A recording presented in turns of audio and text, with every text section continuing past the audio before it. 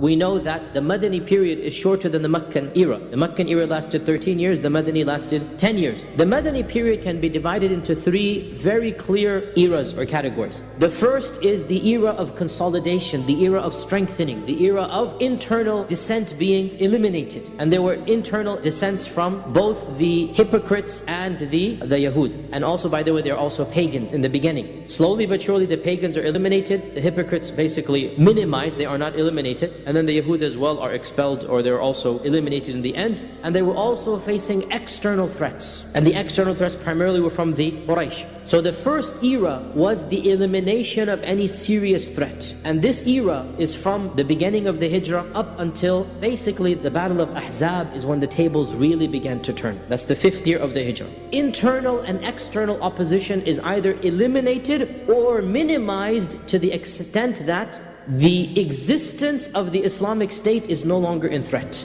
The second era is the era of truce. And this lasted two and a half years, from the Treaty of Hudaybiyah, basically, up until the conquest of Mecca. And in this era, the Prophet ﷺ and the Muslims witnessed a peace, along with the coexistence of non-Muslims. The Prophet ﷺ is sending out letters, emissaries, envoys. The Muslim Ummah expands fivefold in the era of peace, much more than it expanded in the era of war. And that is the sixth, seventh, and eighth years of the Hijrah, basically. And then the final era is the era of the complete establishment of the Republic of Islam. And that was when Allah revealed, وَرَأَيْتَ النَّاسَ يَدْخُلُونَ فِي دِينِ اللَّهِ أَفْوَاجًا That is the ultimate victory that the entire peninsula embraced Islam en masse. And that is basically the post-conquest of Mecca up until the death of the Prophet ﷺ. Of the early things that the Prophet ﷺ did was he did the famous, it's called mu'akha. And mu'akha means making people brothers. He made a mu'akha, a brotherly bond between the muhajirun and the ansar.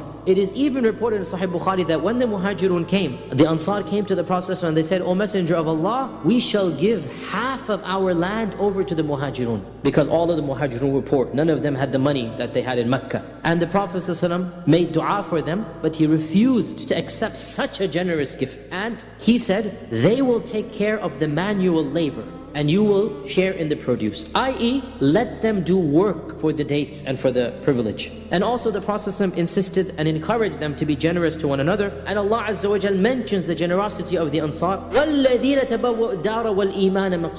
Now in this verse, Allah uses a noun for Medina that He doesn't use anywhere else, and that is the house. Meaning this is where you're going to feel at home. And Allah calls the Ansar those who prepared the house. It is technically the house of the Ansar. And so if Allah had said those who had prepared their house, this would have been accurate. But Allah didn't. Because what did the Ansar do? They gave up half of their house to the Muhajirun. Allah is saying the Ansar prepared the house for them. And they found no hesitancy to give everything. And they preferred others over themselves. وَيُؤْثِرُونَ عَلَى أَنفُسِهِمْ وَلَوْ كَانَ بِهِمْ خَصَاصَةً Even if they themselves were in poverty. And so they gave the muhajirun everything they needed from home to food to animals. And subhanAllah, this shows us the spirit of Islam. That the Prophet did not want these free handouts. The Prophet said, no, they shall do work they're going to do their manual labor. They'll take their wages in dates and in food, and you can take your wages or your percentage as well. And so the Prophet is encouraging being brotherly, being kind, being generous.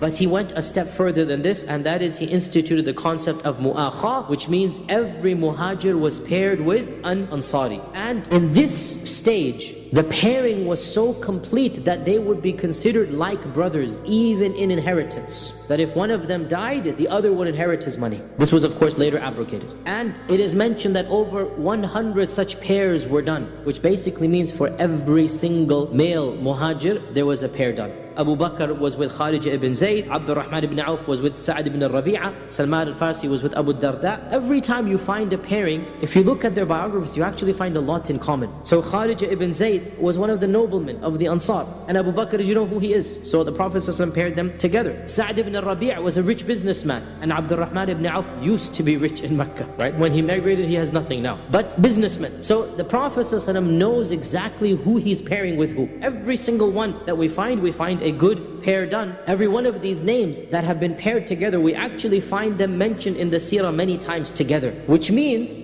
that they took this pairing together very seriously. And the Ansar, in fact, helped the Muhajirun so much that the Muhajirun came to the Prophet ﷺ worried about something. They said that, O Messenger of Allah, we have never seen any group of people like these that we have come to. They share equally with us at times of difficulty and are generous with us at times of ease. They have taken care of our needs and allowed us to share with them in good, so much so that we are worried, Ya Rasulullah that they will take all of our ajr away from us. That they've done so much that all of those years in Mecca that we were persecuted, all of those years that we were tortured, all of the wealth and money we had to leave behind, the hijrah and the problems of the hijrah, all of this, Ya Rasulullah, we're worried that it's all going to be handed to them because they're so nice to us. And so the Prophet ﷺ said that no, they will not get all of your reward as long as you praise them and make dua for them.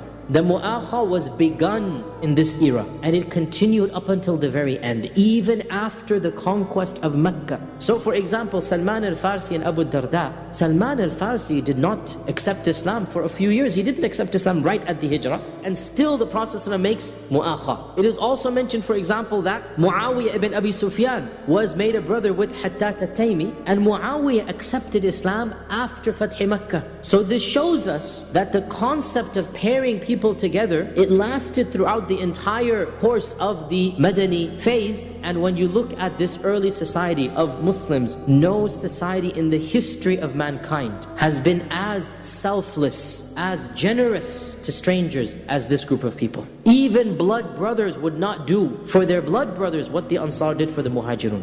And that is why loving the Ansar is a sign of faith and Iman. Hadith in Sahih Bukhari, Sahih Muslim, the Prophet ﷺ said that the sign of Iman is to love the Ansar. And a sign of hypocrisy is to hate the Ansar. And in fact, so much is the blessings of the Ansar. The Prophet ﷺ even said to them that if I could, I would give up my lineage and be a part of you. I can't change biologically that I'm Qurashi. I cannot change that I'm from Mecca. Were it not for the fact that I come from Mecca, I would have considered myself one of the Ansar. If all of mankind went in one direction and the Ansar went in another direction, I would choose the direction of the Ansar.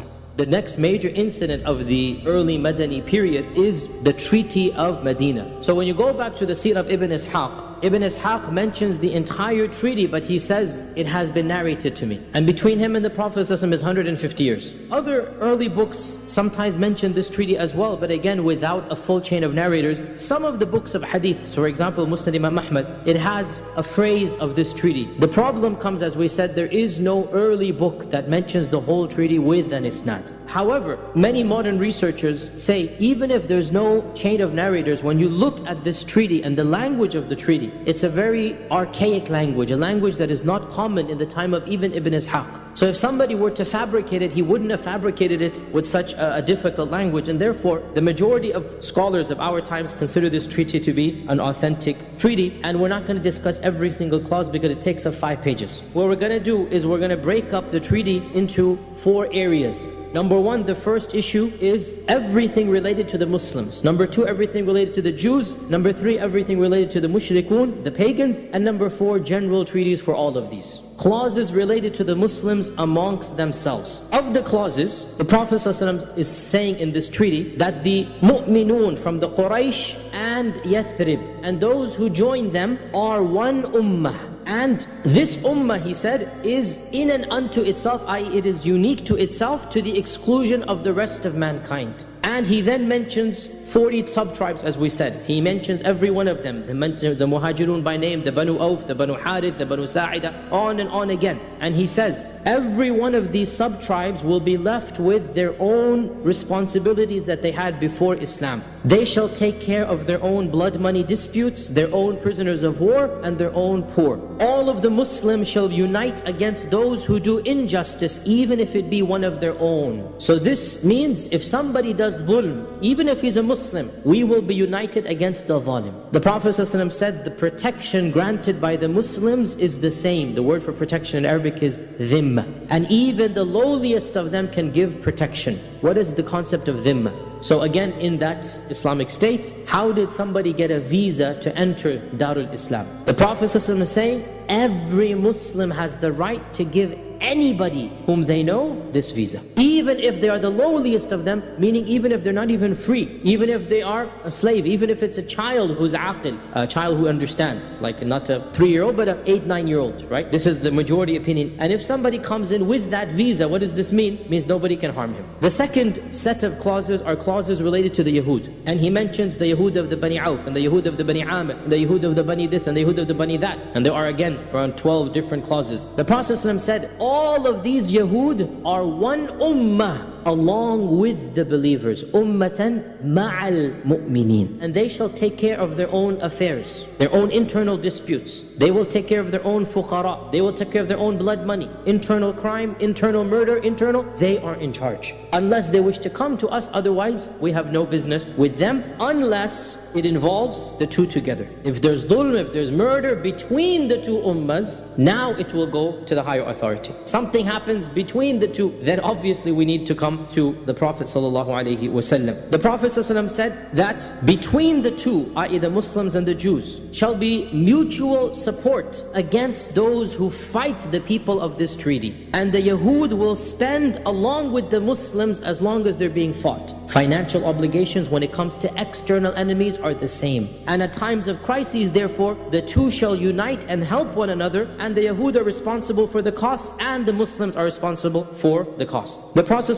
also added here with regards to the Yahud, no Yahudi can leave Medina without the permission of the Prophet Leaving means changing your citizenship. That's what it means in that language. So the Prophet you, you cannot just do that. You have to inform us, you have to tell us. You can't just go and become a traitor. You cannot just, or, or even leave and become neutral. This must be informed so that we know that you're no longer a part of this treaty. Another clause, if any Jew wishes to follow the believers, i.e. to convert, then he shall be helped and protected and no injustice shall be done to him. Some of the clauses related to the pagans, the mushrikun. No mushrik shall offer protection to the Quraysh even if it is in return for life or money. Nor shall he in any way come between the Quraysh and the believers, i.e. to defend. If you're in Medina, you cannot support them physically. What's in your heart is in your heart. But you cannot support them, nor can you defend them, nor can you come between us and them. Stay out of this business. Why? Because, of course, at the time, to be pagan meant your alliances are with the Quraysh or with the people of Mecca. So the Prophet said, you must remain neutral. You're never allowed to take any sides over here. The final set of clauses were general clauses pertaining to all of the people of the treaty. Number one, the Prophet ﷺ said, the interior of Yathrib is a haram for the people of this treaty. Haram means sacred land. And he mentions that no wild trees can be plucked and no game can be hunted and so on and so forth. And he also delineated or demarcated what is Medina. So he mentioned four points, Lab Batayha and Ayr and Thawr. Ayr and Thawr are two small mountains, south and north